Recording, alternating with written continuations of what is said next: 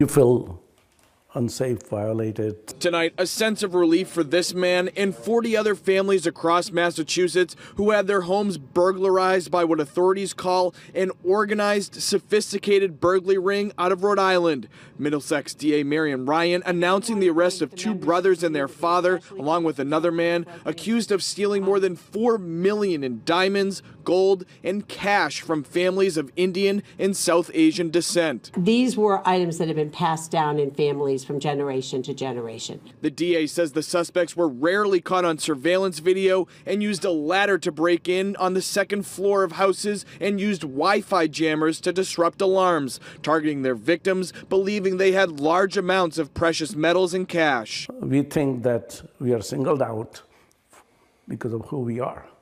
And that allows somebody to take advantage of us. Police say the burglars broke into Samir Desai's Lincoln home while he was on vacation, stealing items that are irreplaceable. When communities get singled out like that, not only you lose safety and belonging, but I think it's a, I do believe that there is a good case here for hate crime.